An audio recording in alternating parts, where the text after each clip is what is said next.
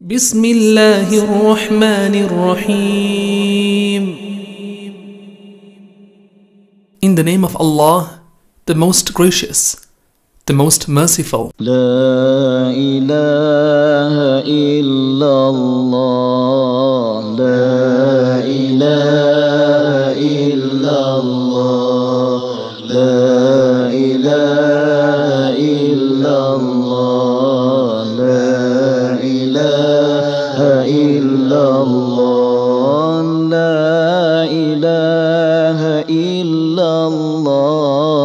لا إله إلا الله. السلام عليكم ورحمة الله وبركاته.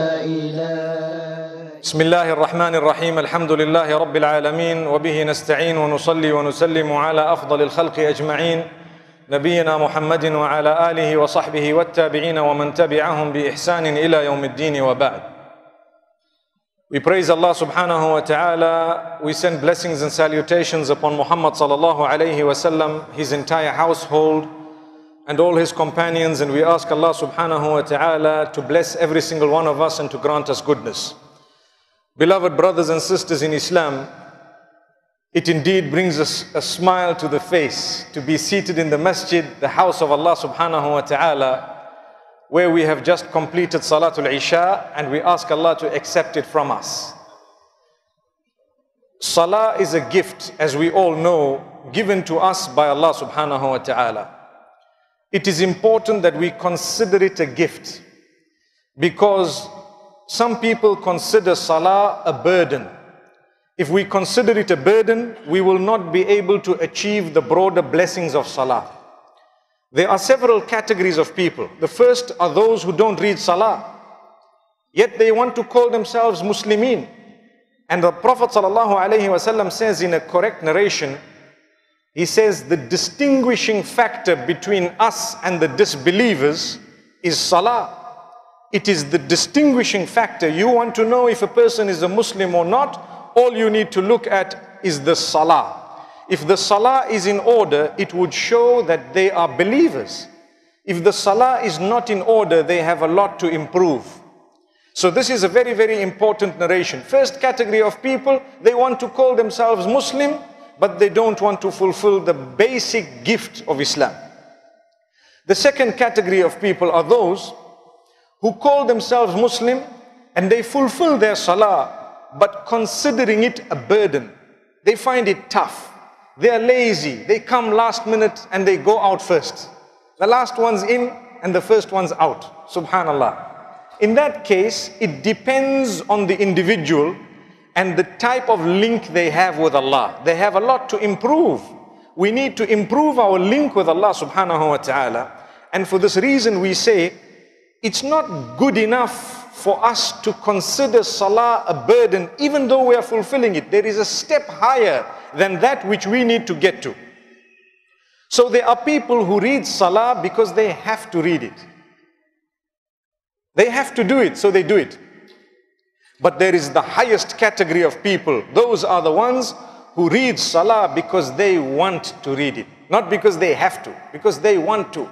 So you find that they are doing it considering it a gift of Allah. These are the ones whom when they come into the house of Allah, they forget everything outside the house of Allah which is not related to Allah subhanahu wa ta'ala. So if you notice, we, mashallah, because we have a carpet in the masajid these days and a beautiful clean environment, we remove our shoes outside. Similarly, remove all your things that will connect you to this world outside the door. When you come inside, you need to be able to stand, concentrating for the sake of Allah. وَقُومُوا لِلَّهِ قَانِتِينَ I'm sure we've heard such a beautiful verse. Stand for the sake of Allah with total submission, concentration, humility, conviction, and with the consciousness of Allah subhanahu wa ta'ala. Such a person will be able to reap the benefit of salah. Do you know that if you were to fulfill one salah with jama'ah in the proper way, and then you are to fulfill the next salah with jama'ah in the proper way, it would act as an expiation of the minor sins between the two salahs. The minor sins, the Prophet ﷺ says, أتبع السيئة الحسنة تمحها Follow a bad deed with a good deed in order to wipe out the bad deed. Some people don't understand it. They think you can go and murder someone and then go for Hajj. You can steal their money and then go for Hajj and everything will be deleted. No, that's not what the hadith means. It is speaking here about minor sins, small things that happen on a daily basis. You might have done something, you might have said something minor and so on. You know, there might be a few little small things that happen which we know or we don't know sometimes. When we follow up with a charity or a good deed or a salah, automatically we find that these minor sins have disappeared. They will go away. As for the major sins, they require what is known as tawbah, what is known as repentance. You need to turn to Allah in repentance and ask Allah subhanahu wa ta'ala's forgiveness for the major sins. You need to admit the sin, you need to regret it, you need to ask Allah's forgiveness, and you need to promise not to do it again. Those are the major sins. So, getting back to the issue of salah, we enter the house of Allah. The question I have do you feel that this is the house of Allah? You know, if you are entering the house of a huge businessman or a, a prince or someone big, a king or a leader or an emir, you would feel that I'm entering this big house. Perhaps there is surveillance here. Perhaps there is this person here. Perhaps, you know, I need to carry myself well. What is the impression this man is going to get of me? Let me apply a little bit of perfume. Let me look smart and decent. So Allah subhanahu wa ta'ala says, Ya Bani خذوا زينتكم عند كل مسجد Beautiful verse, O children of Adam. You need to adorn yourself with your beauty when it comes to entering the houses of prayer, the place of sajda. When you want to connect with Allah, dress clean clothes. You must be smelling good. You must be looking good. You must be within a specific level of purity known as tahara. Tahara meaning cleanliness of a certain nature. You cannot read salah without wudu. You, you need the ablution. So when you're entering the house of Allah, ask yourself a question. Do I feel the calmness? Do I feel the serenity? Do I feel like I've entered a beautiful place? It's a question. I have come across some non-Muslims who have visited some masajid. You know, nowadays in the Western world, we have an open day where sometimes we have to welcome the non-Muslims. They want to see what is Islam all about. So they enter the masjid, they come. And some of them have told me that we bear witness. The minute we turn the corner with our car, we noticed some feeling of peace when we saw this house of Allah. Amazing. The non-Muslim is telling you, when I entered this, there is some amazing serenity. So some of the ulama, they say, how can a non-Muslim feel the serenity of the house of Allah? But it's common sense, they are human beings. They will also feel a spirituality in the house of Allah subhanahu wa ta'ala if they have the right intention and the right heart, they will feel a goodness. So if the non-Muslims are telling me and you that we feel some calm atmosphere in the house of Allah subhanahu wa ta'ala, how come we as Muslims do not feel the calm in the house of Allah sometimes? Why is it that we find our own children and offspring away sometimes from the house of Allah subhanahu wa ta'ala? Perhaps our intention needs to be rectified. Let me quickly take you through the first part of the hadith of Mu'adh ibn Jabal radiallahu anhu, which I am sure a lot of us should know of by heart.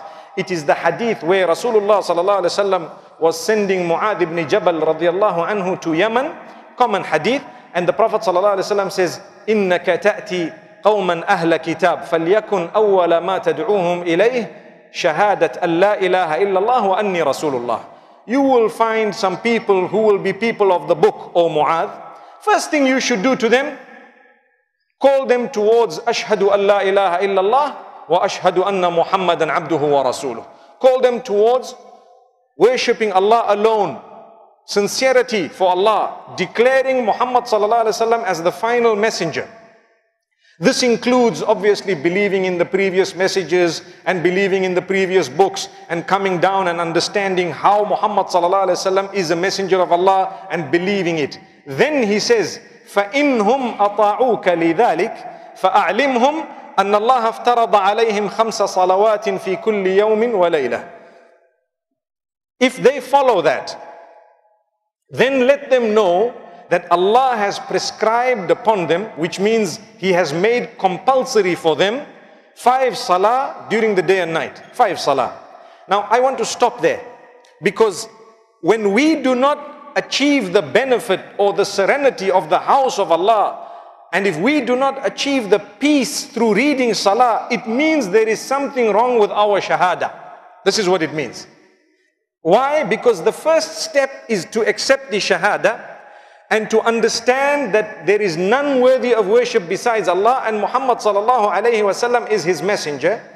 And if you worship Allah alone without engaging in any form of polytheism or what is known as shirk, and if you are conscious of the worship of Allah alone, you've developed a direct link with your maker, and you firmly believe that Muhammad sallallahu alayhi wasallam was sent to me and you to show us how to worship Allah subhanahu wa ta'ala and to show us why we have been created in this world and to lead us towards paradise and that he is the final messenger and his message is final and totally complete then only you will be able to benefit from salah. But when we are involved in innovation how can we benefit from salah? We come to the masjid our heart is not there when we are involved in association of partnership with Allah or some shirkiyat, some little uh, polytheism and so on, which is obviously a major sin, then how can we benefit from salah? We won't. We will find it a burden. We will not be able to develop a link with Allah. Today, on the globe as a whole, people are searching for peace. People are searching for inner contentment. Do you know that the Prophet ﷺ used to tell Bilal ibn Rabah, Arihna biha ya Bilal. What is he speaking about? He says, Oh Bilal, let that comfort come through it. Through what? Through the adhan. Go and call out the adhan. We will achieve the comfort of that adhan. Amazing. I recall these beautiful words of success that we hear so many times a day. And in this country, mashallah, the country of Qatar, beautiful Muslim country, we are so fortunate to be hearing the adhan, not just from one mi'dana or minara, but from so many different places. You are spoilt for choice as to where to go for salah. You want to hear a beautiful long recitation, mashallah, there is a masjid, you can go. You can take a little bit of time. And subhanallah, if you are in a little bit of a rush, Allah forgive us, and you are one of those who speedy Gonzales, you know, you want to get to a masjid where they finish in no time, you can find that masjid as well. May Allah forgive us, our shortcoming. We are human beings. You know, come time for Ramadan, it's round the corner, inshallah. People fall in different categories. Salah has a blessing. When you come and you fulfill your salah for the sake of Allah, and you know you you concentrate, you are thinking, you are worshipping Allah, You know the, the hadith of Ihsan, where the Prophet ﷺ says, you worship Allah as though you are seeing Him. And if you cannot see, then at least you should know that He is watching you. And when you get to that level, it's amazing. Some people, what they do, come Salat at Taraweeh, they look for the masjid, which finishes in five minutes. Five minutes, pecking on the ground. You know, top, bottom, in, out, salam, alaykum salam, out. Is that salah? We have a beautiful month of Ramadan. You have, mashallah, fasting. May Allah grant us the month of Ramadan. You have so much ibadah, so much charity. Why do we want to waste all that just because we cannot spend 10, 15 minutes? I have at one stage in my life heard people who say, brother, that masjid finishes in 10 minutes. Let's go there. Do you know what they do? After salah, they stand outside and they are talking for one hour. By that time, the others are coming out. Look at shaitan. After salah, they sit outside the masjid. They are chatting, they are smoking, they are doing anything. But for one hour, they are sitting outside. So couldn't we have spent a little bit more time inside the house of Allah? This is what we say. You want the blessings of salah, you need to rectify your shahada. And when we say rectify your shahada, it sounds simple, but it's a very deep statement. It means become a good Muslim. You know, enter into submission in totality. يا أيها الذين آمنوا ادخلوا في السلم كافة O you who believe, enter into submission in totality, in totality, holistically. Not only every one of us, but on top of that, every aspect of submission, submit to it. Don't just submit to whatever suits you. And then whatever does not suit you, don't submit to it. Astaghfirullah. You have a man reading salah, and the other hand he's in the nightclub drinking alcohol. Can that salah benefit him? It's like, you know, astaghfirullah, Allah protect us. I know we're in a Muslim country, but I have seen in South Africa that people told me there is a huge casino. You know where they gamble? Huge casino. And in the casino, it's so big, they have so many different departments. They have a musalla. Wallahi, without a joke, they have a musalla. So they told me, do you know why? Because those who come to gamble, a lot of them are Muslim. And they do not miss their salah. And they make dua, oh Allah, I'm going to gamble. Grant me success. Look at how we have become so weak that we think before you go to steal, read two rakat of salah to say, Ya Allah, I'm going to rob that man tonight. Inshallah, I don't get caught. Ya Allah, help me. I'm making two rakat. Astaghfirullah. But this is the mentality of man. It is happening. May Allah protect us. So Allah says, Oh, you who believe, enter into submission in totality. Your salah will not benefit you if you have not removed from your heart the love for that which is wrong. You need to place in your heart the love for that which is right. And this brings me to a very important point. My brothers and sisters, we are insan. We are human beings. We falter. You know, shaitan comes and tries his luck with us every day. He tries his luck, different ways. Sometimes he wins, sometimes we win. We hope we can win more than he wins. And we hope when he wins, we need to quickly fight back with tawbah. We need to fight back with repentance. You see? So, as human beings, one thing you need to know is even if you have fallen into sin for some reason, the fact that you admit that you are wrong is the first step to success. When you admit what I did was very bad, it was wrong. Alhamdulillah, that is a sign that you want to improve. But when a person wants to read salah before he does something wrong for Allah to help him in that which is wrong, then he is making a mockery of Allah and he will never benefit from that salah of his, nor will he benefit from much more from anything else. First, he needs to go back and develop a link with Allah. It's like, for example, may Allah protect us all. There are some non-Muslims, they say in Ramadan we fast. Have you seen some of them? Maybe even in this country there are some non-Muslims. In Ramadan we fast. Now for them the good news is they will achieve the health benefits of fasting. Health, maybe it will help them. They might feel a bit calm. They might achieve some form of inner peace uh, to a certain extent which is connected to the dunya. But will they achieve the ajr and will they achieve the deeper reward? The answer to the question is let them go and declare the shahada and then try again. Allahu Akbar. Let them understand the deen and try again. It's like a non-Muslim entering the masjid, he will feel, like I've said, the serenity of the house of Allah. But if he reads salah, the salah one of the conditions of acceptance of that salah is for you to be a Muslim. So, although they might feel for a moment temporarily that we are happy, we are content, there is no deeper blessing that will come out of it because they are lacking iman and belief in Allah subhanahu wa ta'ala. The same applies to the Muslim. When we have Islam in us, we are saying the Shahada. But if we are only paying lip service to it, I'm only saying it by tongue, and I'm not worried about anything else. You know, adultery to be committed, it's done. Haram to be done, it's done. Cheating, deceiving, it's done. Uh, anything else, it's done. And then I want to come and say, Allahu Akbar. Subhanallah. Uh, my farad might be fulfilled, but do you achieve the broader blessings when your heart is not even trying to give up the other sins? This is why this evening I wanted to raise this very important point to say, if you would like the blessings of Salah to be felt in your life, you need to have a good heart. In your heart, you need to tell yourself, Ya Allah, whatever wrong I am doing, help me to leave it. Whatever bad I'm doing, help me to recognize it.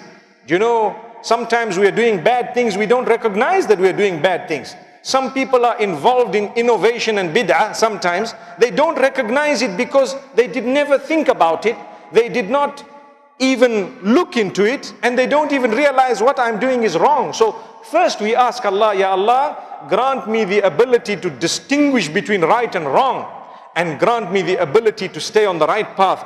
اللهم حبب إلينا الإيمان وزينه في قلوبنا وكره إلينا الكفر والفسوق والعصيان اللهم أرنا الحق حقا وارزقنا اتباعه وأرنا الباطل باطلا وارزقنا اجتنابه Oh Allah, make loved to me, make loved to us Iman and beautify it in our hearts and make hated for us that which is disbelief and sin and that which is in transgression, keep it away from us.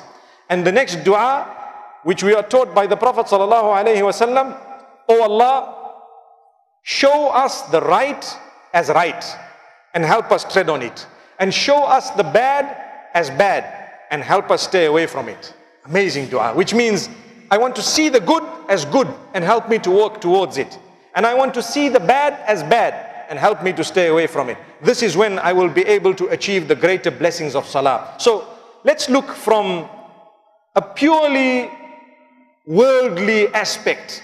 How does salah bless you? How is salah blessing you from a worldly aspect? Religiously, we know we will achieve blessings. Allah says, إن الصلاة تنهى عن الفحشاء والمنكر Salah prohibits from immorality and evil. It will stop you and block you from immorality and evil. You read your first salah of the day and you are worried about the next salah, between the two you will not be doing anything evil. If you read your salatul dhuhr and in your mind you are thinking, now is salatul asr in a few moments, let me worry about it, how are you going to sin between the two salahs?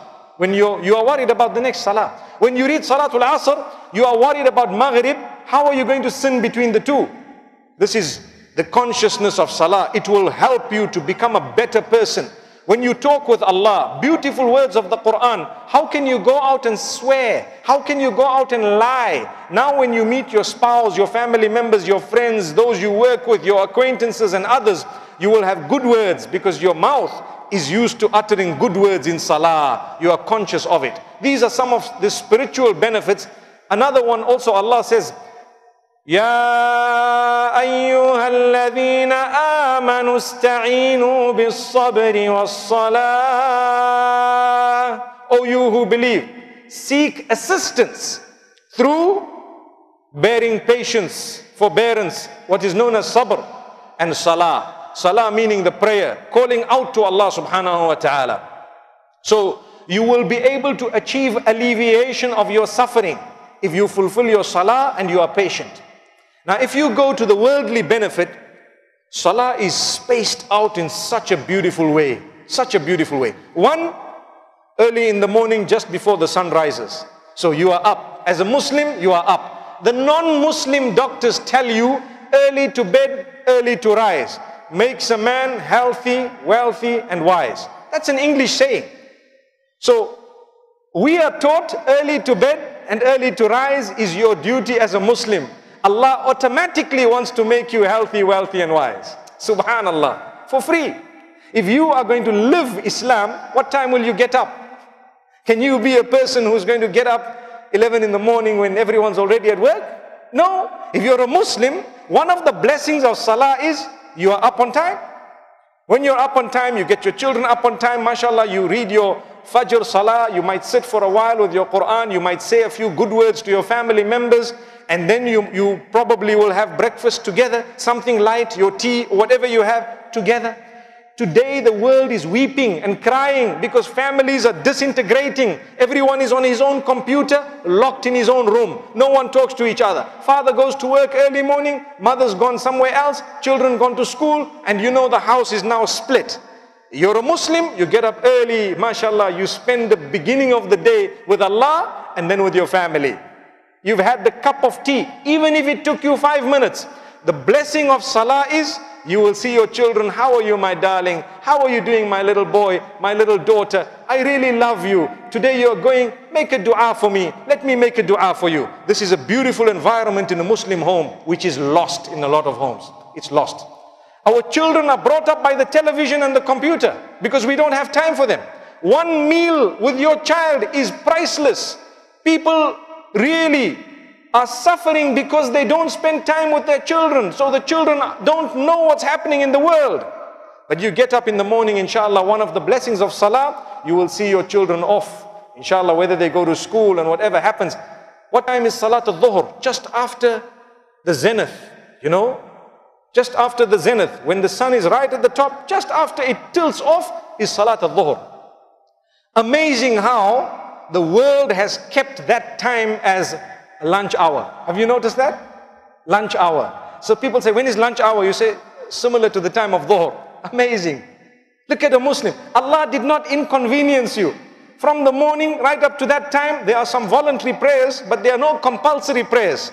So when you get to Allah's, meaning when you get to a higher level that Allah would like you, you know, to achieve more and more, you can offer voluntary prayers.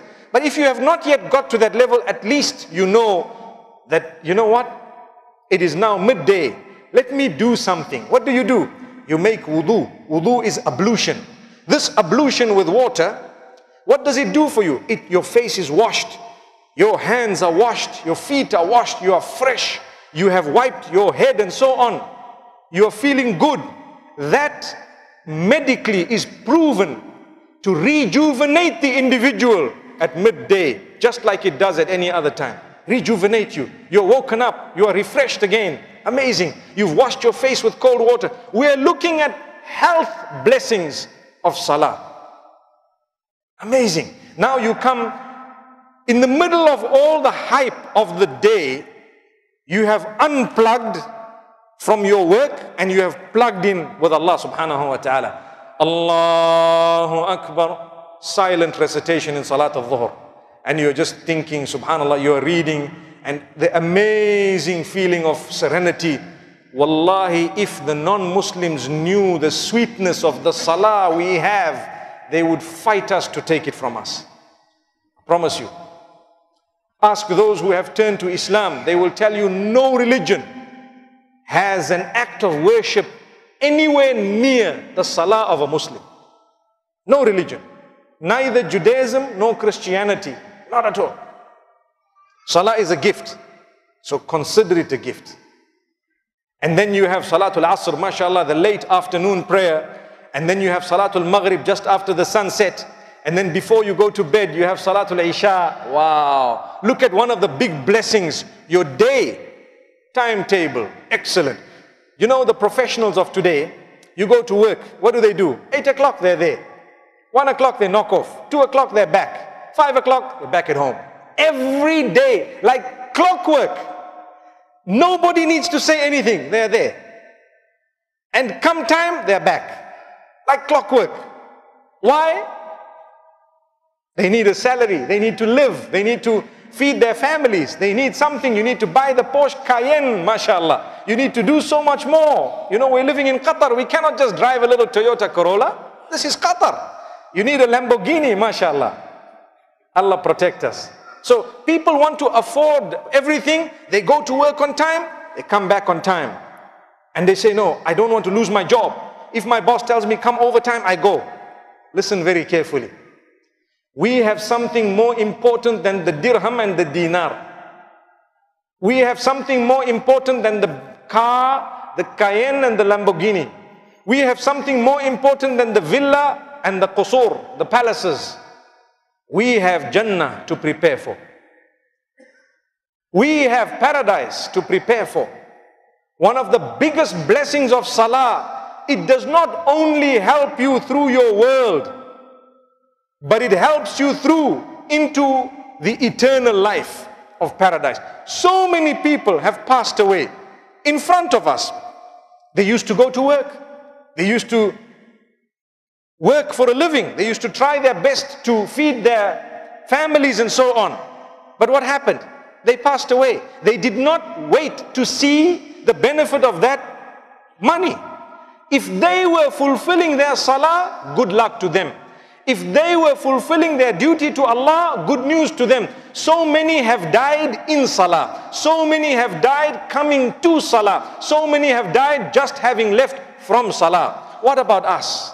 May Allah subhanahu wa ta'ala open our doors. May Allah subhanahu wa ta'ala grant us an understanding. Imagine we are ready to work for a salary because we will get promotion, we will get a bigger package, we will be happier, we will be able to build a house in our own country or help our relatives and so on. So we are happy. We work so hard. Allah says, just need a little bit of salah, a little bit. It doesn't take too long. In 24 hours, you are being asked for minimum of 24 minutes. For every hour, pay one minute. Come on. For every hour, pay one minute. How long does it take? Minimum. Minimum. Obviously, it should be more than that, but I'm talking of the bare minimum 24 minutes for the five salah a day. May Allah subhanahu wa ta'ala grant us blessing. To be honest with you, when a person fulfills salah correctly, another great blessing is barakah. Barakah is, it translates as the term blessing. And what it means is Allah grants you the benefit of perhaps a small amount of money that will last a long period of time small amount of money that you buy something with and it is a bargain. You still have change and you are so happy. And sometimes you might have struck a deal, you buy a car, for example, the barakah in the vehicle, because you use it to go to the house of Allah and to do good things, the money you have used on servicing it or panel beating it or anything else is almost nil, if any at all. Why? Because there is blessing.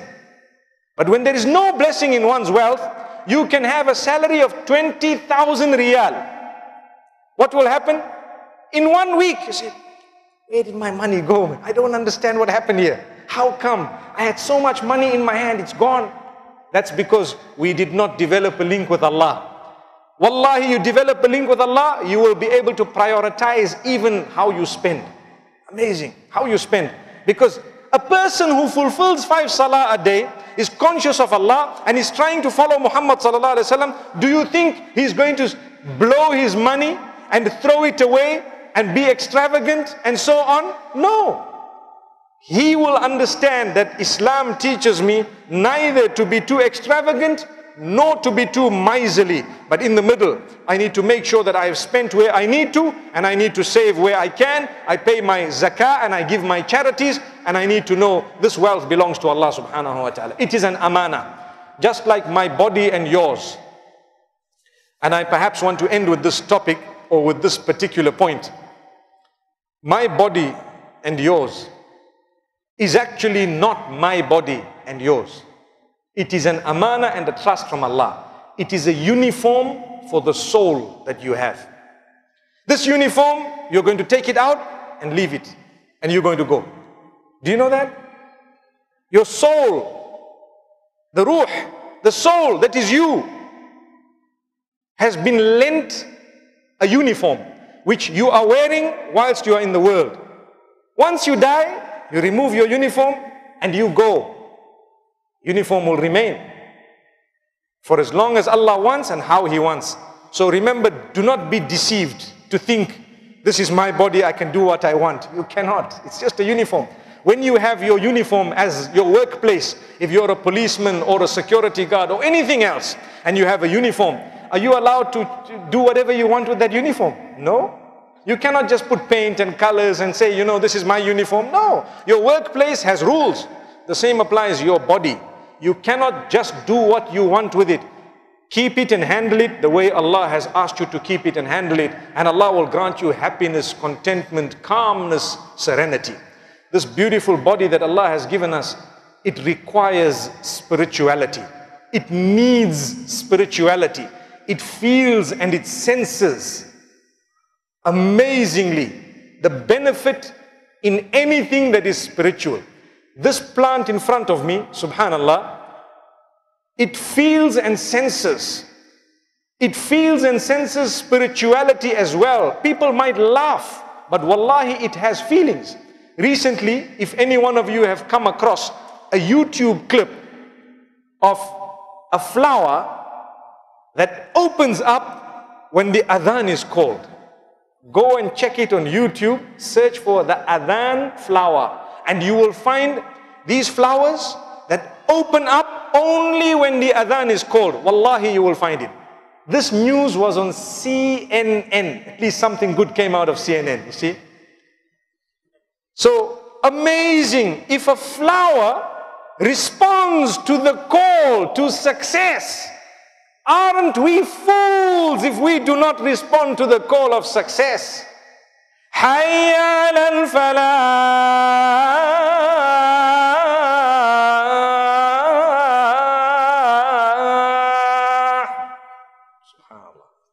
Amazing call to salah. It must make our hair stand. You're a mu'min. You're a believer. The call to success opens a flower, but it does not open my heart and yours. Wallahi, it's about time we revisited this. I call on yourselves and myself to revisit our connection with salah and with Allah subhanahu wa ta'ala. Wallahi, the owner of the doors of success shall open those doors of success for you and for me if we answer his call to success whenever he calls to success and never lose hope. Continue fulfilling your salah. One day you will find yourself smiling all the way to Jannah. May Allah subhanahu wa ta'ala accept it from myself and yourselves. May He make us true followers of Muhammad sallallahu alayhi wasallam. I have touched on a slightly different aspect of the blessings of salah, seeing that last year when I was here, I spoke about salah in the same venue, and I hope and I pray we can remember what was said. Inshallah, we ask Allah to benefit us all, and we love you for the pleasure of Allah subhanahu wa ta'ala. We are meeting for the sake of Allah subhanahu wa ta'ala, and we ask Allah to gather us in Jannah. And until we meet again sometime, if Allah wills, we say, وصلى الله وسلم وبارك على نبينا محمد سبحان الله بحمده سبحانك اللهم وبحمدك أشهد أن لا إله إلا أنت استغفرك وأتوب إليك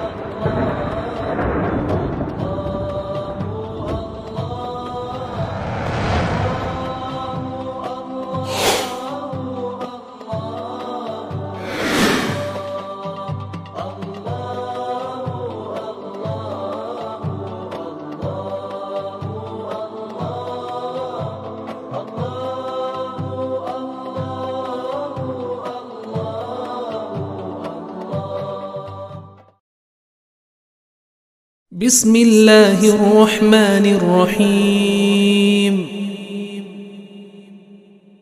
In the name of Allah, the most gracious, the most merciful. لا إله إلا الله لا إله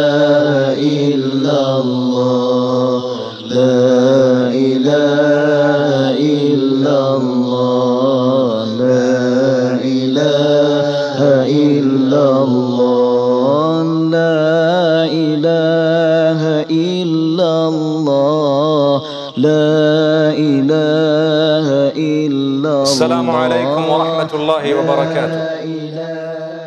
بسم الله الرحمن الرحيم. الحمد لله رب العالمين وبه نستعين ونصلي ونسلم على أفضل الخلق أجمعين نبينا محمد وعلى آله وصحبه والتابعين ومن تبعهم بإحسان إلى يوم الدين وبعد. We praise Allah subhanahu wa ta'ala. We send blessings and salutations upon Muhammad sallallahu alayhi wa sallam, his entire household, and all his companions. And we ask Allah subhanahu wa ta'ala to bless every single one of us and to grant us goodness.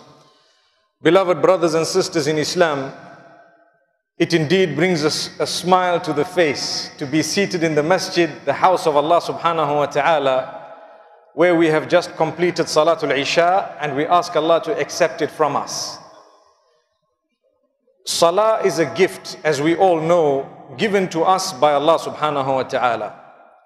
It is important that we consider it a gift because some people consider Salah a burden.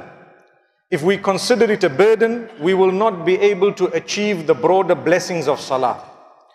There are several categories of people. The first are those who don't read Salah, yet they want to call themselves Muslimin.